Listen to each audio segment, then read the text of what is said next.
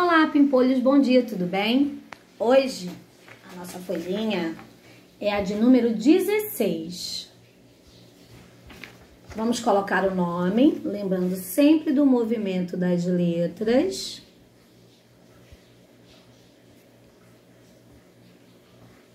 Não esqueçam de pedir ajuda papai para mamãe para colocar a data.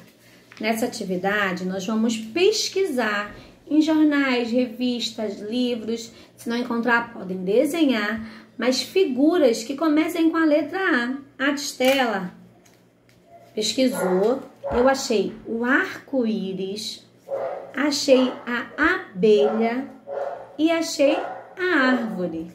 Vou colocar cola aqui, olha, na nossa atividade. Podem desenhar também, não tem problema, mas deixe tudo bem colorido. Coloquei aqui a árvore, o arco-íris e a abelha. Não esqueçam de colorir a nossa árvore do desenho. Um grande beijo e até nosso próximo vídeo.